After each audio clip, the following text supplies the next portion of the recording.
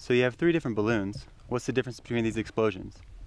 Ah, okay, well, two of the balloons are similar. They have hydrogen as their fuel.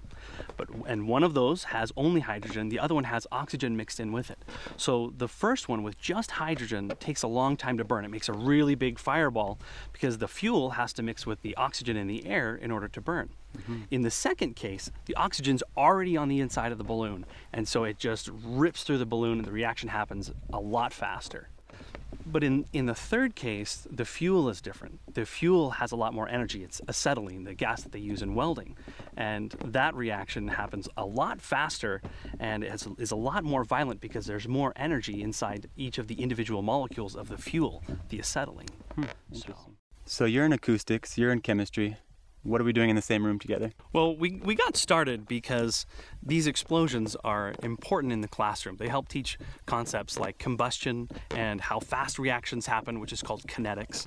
But the problem is, is that these are also really, really loud. And we want to make sure that we're taking into account all the hazards associated with not only the explosion, but also the auditory risk. And that's where, that's where Kent comes in.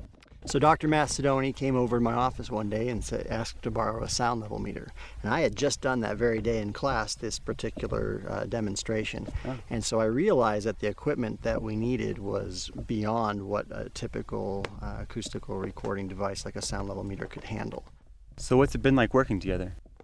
It's been a really fruitful collaboration because now we know how loud these explosions are.